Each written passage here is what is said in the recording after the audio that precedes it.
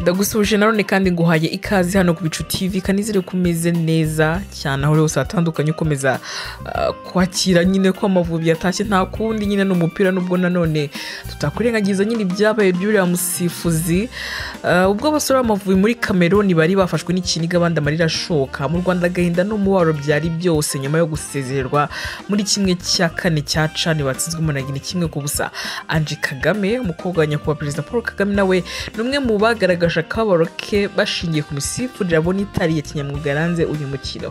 Uretse n'ibyo nubwo imisifurire ariyo kintu cyashizwe mu majwi ku rundi ruhande abakoresha imbuga nkoranyambaga nabo batangiye kwiha ive na muyango bagira bati "Eh, muyango yari yakumbuye ngo ive naramubwira ati turatahira ijoro n'ibindi byinshi nimba ukoresha imbuga nkoranyambaga cyane cyane twitter na instagram wabibonye byanze bikunze. Uyu musifuzi ariko umunyamaroc samir guzaz yasifuriye umukino w'u rwanda watsinzwe na gine kimwe cya kane we yanenzwe bikomeye n'abanyarwanda batandukanye kubera bimwe mu byemezo yawufatiyemo birimo n'ikarita itukura yahaye umunyezamu kwizera olivier.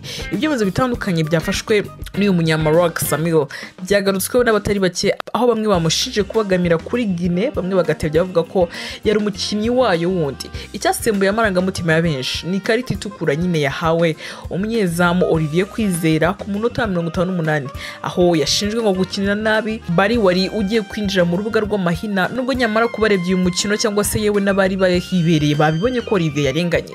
Mbere yo gutanga iyi karita samil yabanje guha umunyezamu w'amavubi ikarita y'umuhondo maze ahamagarwa n'itsinda ry'abandi basifuzi batatu barimo umunyamaroc zorak n'abanyatunisiya babiri arimo uh, ndetse na hassan.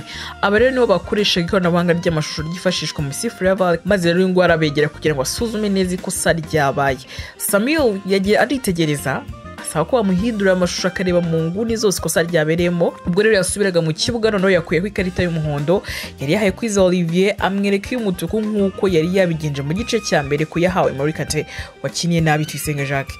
Icyemezo cy'umusifuzi kuri kwizera nticyakiriwe neza nticyakiri kandi kimwe n'abanyarwanda n'abandi bantu batandukanye bakurikiye umukino aho bamwe bamushinja kubogamira kuri gine afatanyije na bagenzi be bakoranye uriya mukino. Ibi none rero hakiyongeraho ko amashusho y'umusifuzi wa kane umunyekongo jacques ndara asuhuzanya n'umutoza wa gine gine yakinaga n'amavubi yagiye akwirakwira ku mbuga nkoranyambaga nyine amashusho yafashwe basuhuzanya abantu benshi nabo bateramo urwenya bavuga bati hari ukundi kuntu byagenze? Nk'uwitwa phil clark we yagize ati umusifuzi n'umukinnyi wa cumi na kane wa gine umutesi jero yabaye miss rwanda bibiri na cumi na gatandatu we yagize ati uyu mukino urimo amafimbi menshi kurusha umupira pe. Ndizeye lionel we yavuze ko umusifuzi atitwaye neza muri make umukobwa wa perezida paul kagame ange kagame nawe yagaragaje ko imisifurire y'umukino w'amavubi na gine itagenze neza aho yagaragaje ko umusifuzi ashobora kuba yarebye yarebye kuri var ahumirije. Mu kiganiro yagiranye n'abanyamakuru nyuma y'umukino umutoza w'amavubi mashami Vincent yavuze ko rutahizamu wa gine ashobora kuba yarushije ubwenge ngo abasifuzi. Ati urebye mu mashusho ababibonye babonye ko olivier kwizera nta kosa yigeze akorera uriya mukinnyi. Ati ngira ngo uriya mukinnyi yabaye umuhanga cyane. Yakiniye ku bwenge bw'abasifuzi. Ati ngira ngo yabarushije ubwenge niko navuga. Ati ibyo byose rero byatumye bigenda kuriya. Twabyemeye ntabwo twajya kurega vaho anje kagame uri mu bababajwe nawe no gusezerwa kw'ikipe y'igihugu amavubi avuga ko mu buzima bwe ari bwo yari abonye imisifurire mibi nk'iyaranze umukino w'u rwanda na guinea conakry hanyuma ariko uretse amakarita atukura yatanzwe muri uyu mukino amavubi yanashinjwe gukora amakosa makumyabiri na rimwe yavuyemo amakarita atatu y'umuhondo. Ange kagame mu butumwa bwuzuye agahinda yakomeje gushyira kuri twitter asubiza umunyamakuru ashaka mugisha. Wari uvuze ko amavubi asezerewe na guinea yashinje umusifuzi kuba nyirabayazana wo gusezerwa kw'amavubi. Ange ashimangira ko guinea yasezerera u rwanda kubera ubufasha bwinshi butangaje bahawe n'umusifuzi. Ange kagame yunzemo ati mu buzima bwanjye bwose sinigeze mbona imisifurire nk'iyi na rimwe.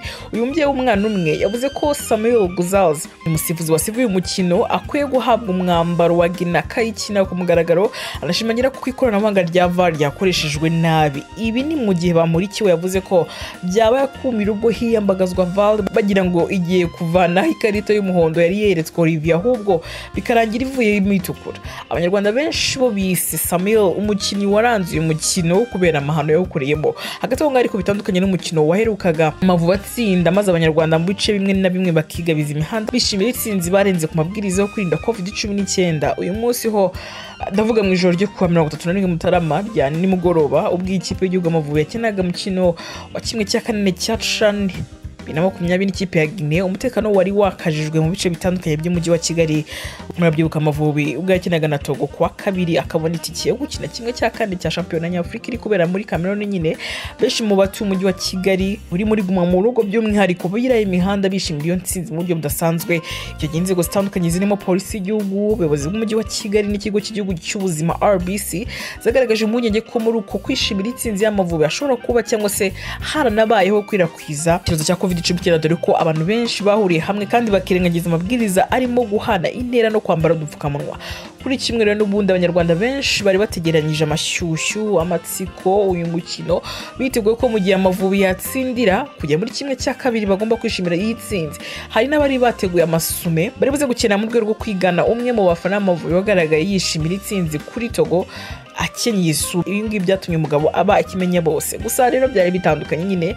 Inzego z'umutekano zirimo polisi nyiragutabara ndetse n'urubyiruko rw'abakorerabushake rwari rwari rwatangatanze ahantu hose ngo rukumire abantu bashobora kurenga ku mabwiriza yo kwirinda covid cumi n'icyenda bitwaje gufana ikipe y'igihugu. Mu bice bitandukanye by'umujyi wa kigali ah, birimo nyamirambo ku kimisagara ku gisozi n'ahandi ikinyamakuru igihe cyabashije kugera umutuzo wari wose. Abantu bareberaga umupira mu rugo ahenshi nta n'umwe wacaracaraga hanze uretse abashinzwe umutekano nyine n'abakoranabushake gusa mu bice by'inyamirambo hazwi nko kuri mirongo ine hari abantu bake ngo bafashwe barenze ku mabwiriza kuma mu rugo igihe yasanze bari kwigishwa basobanurirwa ingaruka z'icyorezo cya covid cumi n'icyenda gusa nyine bikaba byarangiye amavubi atabashije gukomeza muri kimwe cya kabiri.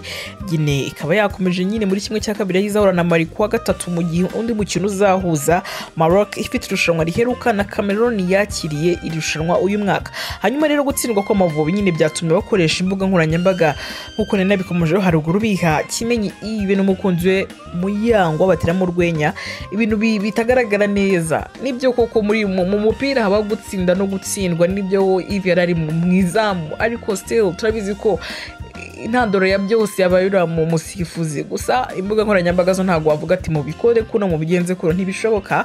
Abakora urwenya bo babikoze tayari ive kimenye ive yabaye nyirabayazana we na muyango. Aho nka post umunyarwenya joshua aheruka gushyira kuri instagram account ye post yewe na muyango nyir'ubwite yabonye akumirwa akavuga ati ndabona wa- wanaginze nyine iyi ngiyi urimo urabona. Bigaragara ko ngo ari nkaho ive yagiranaga ikiganiro n'umukunzi we muyango amubwira ko amukumbuye udati ndati ndaza iri joro abantu benshi bakaba batangiye kwitiramo mu rwenya bavuga ko Yves yabikoze abishaka. Ni mu rwenya njye simamya ko Yves yaba yabikoze abishaka nta muntu utabushaka itsinzi ntabwo Yves na, Mu- na Muyango ba- batumye amavubi ari we watumye amavubi ataha nta kintu kitwemeza yuko Muyango atari naho bari ku buryo wavuga ati Yves yavuze ko akumbuye umukunzi aravuga ati reka batsinde dutahe. Naho guys abantu mbere yuko bavuga ikintu burya biba byiza iyo wibutse ko na, wa muntu uvuga ni umusitari of course. Hari ibyo yakoze bituma umumenya ariko ni pulmono hari burage hari nawe yego bajya bashaka hiti rimwe na rimwe ariko hari ibintu bibabaje. Guys abantu bafite akabaro kuko amavubi yatashye nawe uraza uvuga ngo Yves yabikoze abishaka. And of course ku ruhande rumwe cyangwa se urundi hari abatemeranyije n'iyi post Joshua yapostinze aho nk'uwitwa igishego yagize ati ariko wagiye wandika ibyubaka abantu aho kurwana upostinga byinshi bitubaka abanyarwanda. Njye nitwa ni kwingabiye iyi ni ibicu tv kora subscribe niba utarayikora kugira ngo ujye ubasha kubona byinshi bitandukanye dukomeze kukugezaho amakuru agiye atandukanye ndetse n'ibindi byinshi bitandukanye buri munsi. Ibihe byiza.